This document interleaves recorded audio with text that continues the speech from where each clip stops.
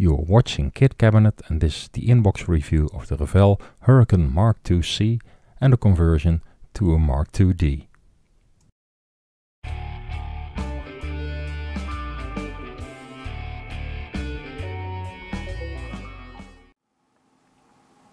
Now this uh, little kit has been around for several years now. There's already several reviews of this one around. But there's still a couple of things that I'd like to point out about this little kit. So let's have a look inside. Okay, so like I said, it's uh, been around for quite a while now. And you can also see it on the sprues. There's like huge bits of flash showing, at least on this one. And yeah, that's showing the age of the molds. But if you look at the detail, like the inscribed panels, it still looks very nice. There is some mold damage here, unfortunately.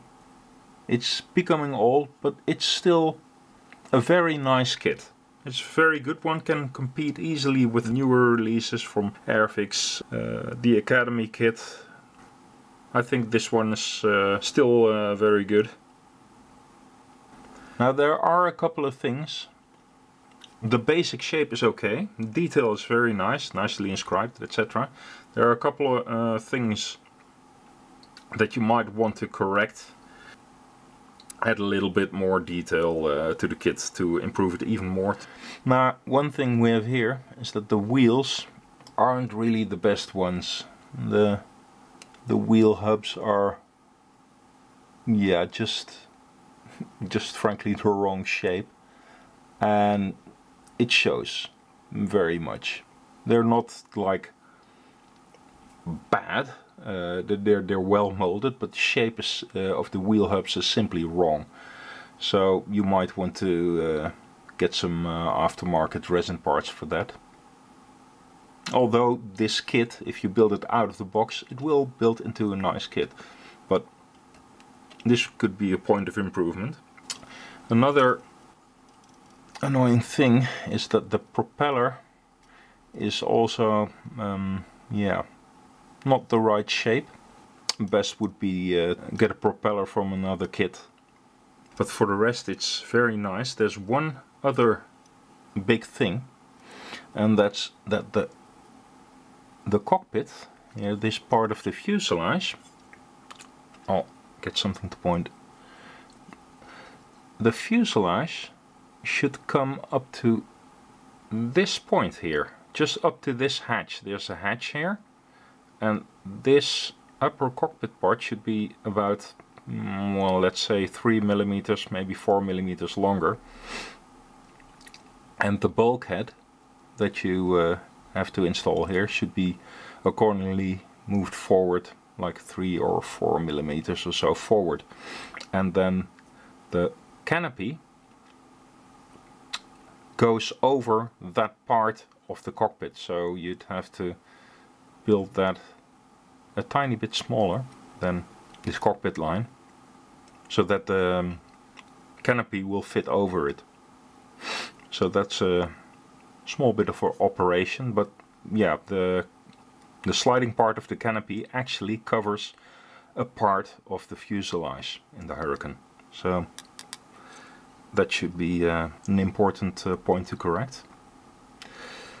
Well, like I said, the rest of the kit looks very nice. The, um, the ribbing is very subtle still. You can still see um, lots of flash here, so you have to do a lot of cleanup. But the rest of the kit still looks very nice. Nice and up to date. There's one other thing.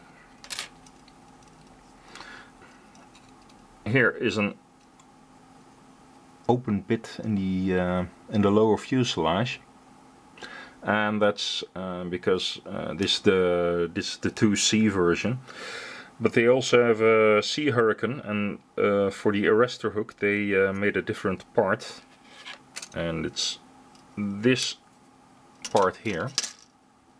Now this part looks very nice and fine but if you try to mount it in here, it will like fall into the fuselage and it's best to um, add some really narrow plastic art here. So this part won't sink in too far into the fuselage. So that's just a like a a detail tip to save you some work with filler and, and, and sanding and losing detail. The instructions with the sprue map and everything uh, pretty straightforward. It's a very easy kit. It's nice it's cheap and it builds into a, a very nicely detailed model there are some things like up to this uh, step everything is uh, very nice and logical. What I would advise though, ah, here's the, the lower fuselage part where you have to take care that this part won't sink in too far into the fuselage. But up until this stage everything is okay, but I would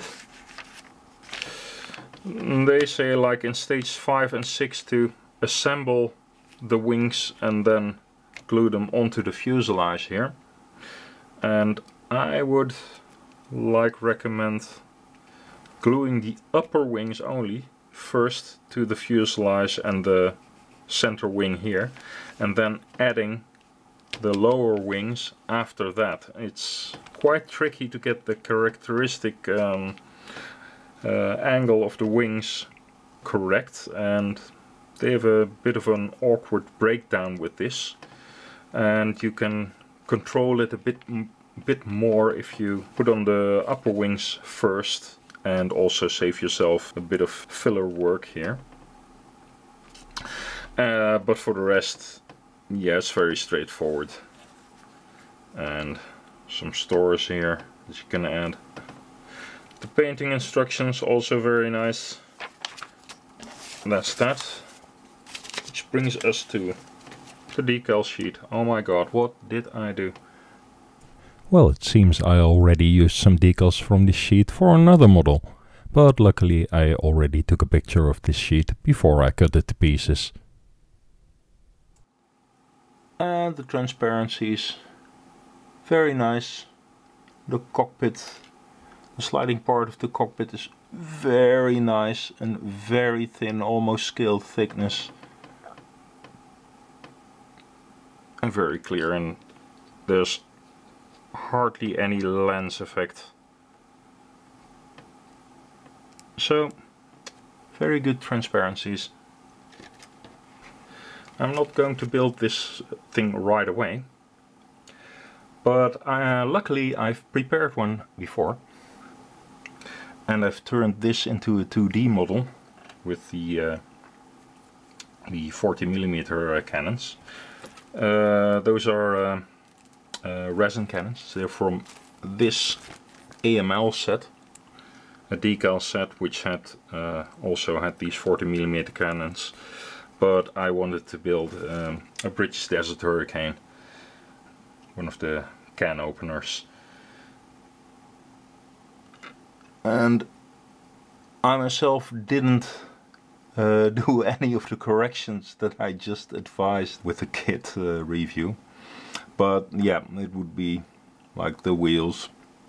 I've tried to reshape the propeller a bit, but hmm, it's kind of passable, but a replacement would have been better. And I'm uh, I'm very happy about the the cannons. I've also replaced the pitot uh, tube or the pitot tube. The kit pitot was a bit a bit heavy. I uh, added some uh, transparent navigation lights as well.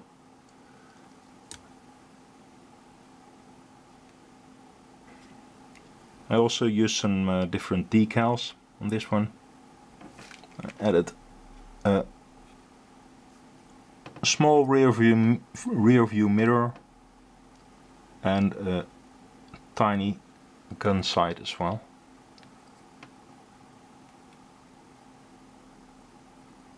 So there.